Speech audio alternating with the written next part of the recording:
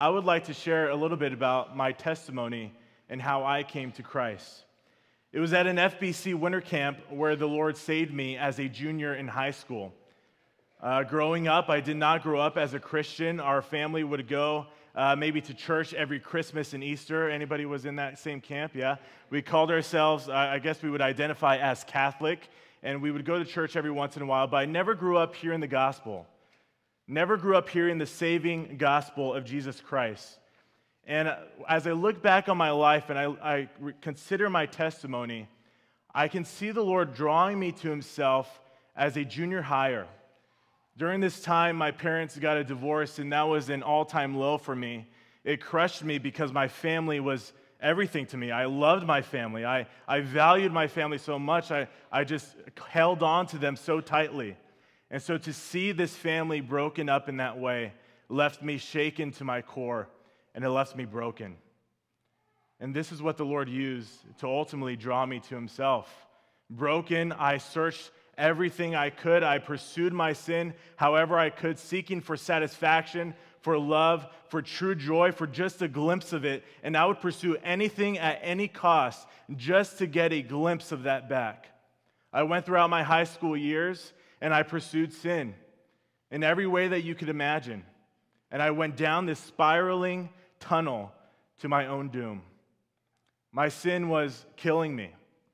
It was deceiving me into thinking that it was good and that it offered true satisfaction and true love and true joy when every single time it left me feeling empty and worse than I had before. Sin was killing me. Until one day, a couple of my friends from here invited me to our FBC high school winter camp. And it was at this winter camp that the Lord saved my soul. I went and I agreed to go because they said it was going to be a ton of fun. We were going to stay in cabins. We were going to have a sick time sledding down the mountains, uh, hanging out with friends, throwing snow at each other. I've never been in the snow before, so I was like, come on, let's go. So I agreed to go. My family had no money at the time to send me. The only way that I was able to go was because you were so faithful to provide camp scholarships. I got a full ride scholarship to that camp where the Lord saved me, and I'm so thankful.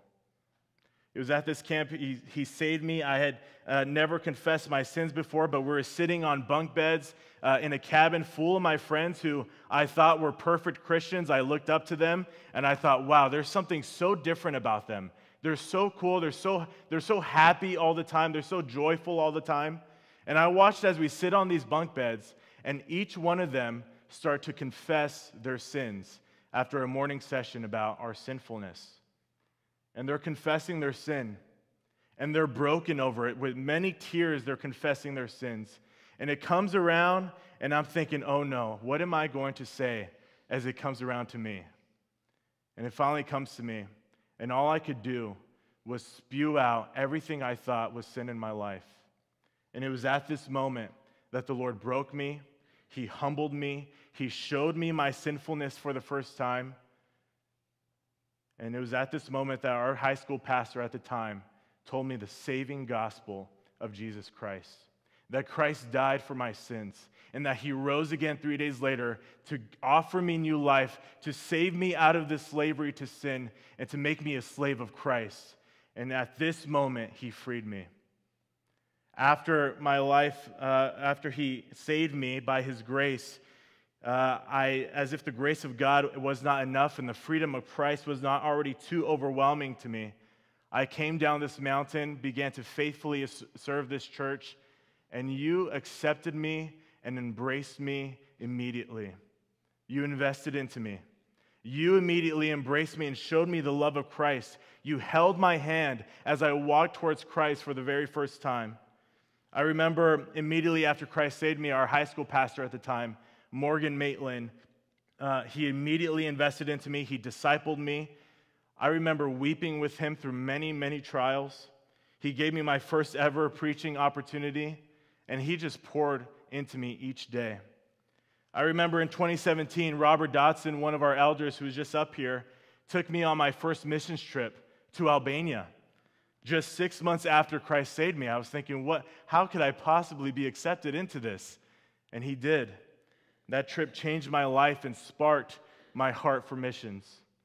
In 2018, you supported me again and you sent me back to Albania for two months as an intern. And I came back and served as Sean Farrell's pastoral intern in the college ministry. In 2018, you support, or 2019, you supported me, sent me to India for three months, and I came back and served in children's ministry on Sunday nights as Boots. Come on. Most of your kids only know me as Boots, and I'm fine with that. Uh, it was a fun time. In 2020, I served as our co pastor of high school ministry. In 2021, you supported me again. You hired me as your junior high pastor, which is still to this day the greatest joy. Our junior highers are the best, the funnest. They're the best. Sheesh, okay? Last year, you supported me and sent me to West Africa. This year, I finished our training center process. I'm heading back to India in August to preach at a youth conference, and I'll finish seminary at the end of the year. All this to say, I am so thankful for God's amazing grace in my life in giving me this amazing church family.